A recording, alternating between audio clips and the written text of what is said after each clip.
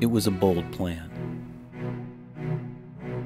For the first time, NASA's Operation Icebridge would bring its P 3 aircraft down to Antarctica, land at the sea ice runway at McMurdo Station, and use that temporary, 8 foot thick sheet of ice as a base station to travel to remote areas of the continent, including some that had never before been surveyed from the air in such detail. A lot of pieces had to be put in place for this to happen.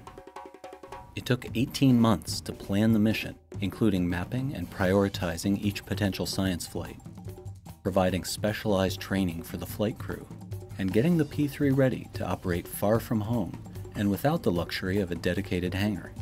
It also took careful coordination with the National Science Foundation, which operates McMurdo, to ensure the mission would have adequate support on the ice and would adhere to strict Antarctic environmental and wildlife protections.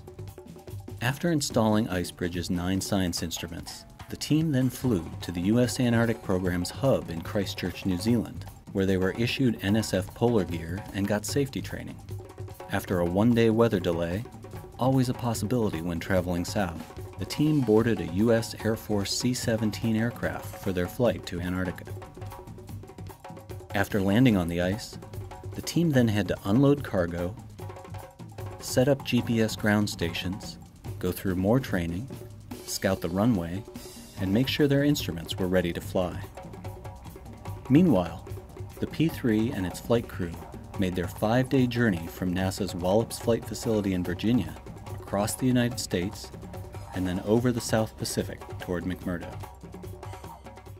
On November 16, 2013, a clear, sunny day, the NASA P 3 made its first approach to the sea ice runway and executed a beautiful landing before taxiing over to meet an excited team of researchers.